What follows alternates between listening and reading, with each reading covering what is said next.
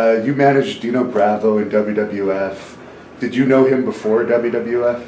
I knew him when I started wrestling in Montreal because Dino, I don't know, I can't swear to it, but I think he had bought some shares, you know, because he was starting himself and he, he wanted and I wanted, so that's how we met.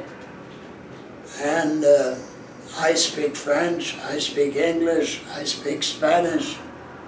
So he asked me if I wanted to go with the WWF with him. And I did, and it was from 87 to 1990. And it was a, quite an experience, you know.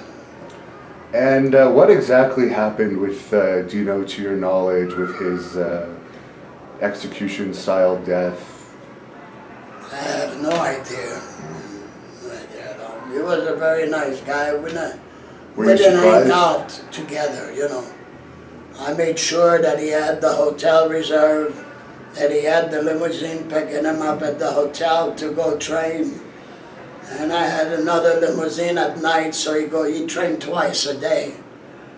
And one time we were at the Gold Gym in um, California. What's the name of it? Venice? Ve- Venice? Venice, California, right. And he did on the bench press there 700 pound. And those who write the books, the guy said, do you mind if we write it down? Said, I said, no, no, go ahead.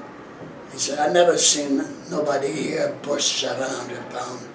And afterwards, that's when he was, he was training for that 710 pounds. Remember that uh, in the years back, he was here in Ontario somewhere. No, he was uh, a good guy, very tough. Uh, So you were probably pretty surprised uh, when you heard about his death. yes, I was very surprised, you know, because I knew I knew him. We were, I thought we were friends, you know.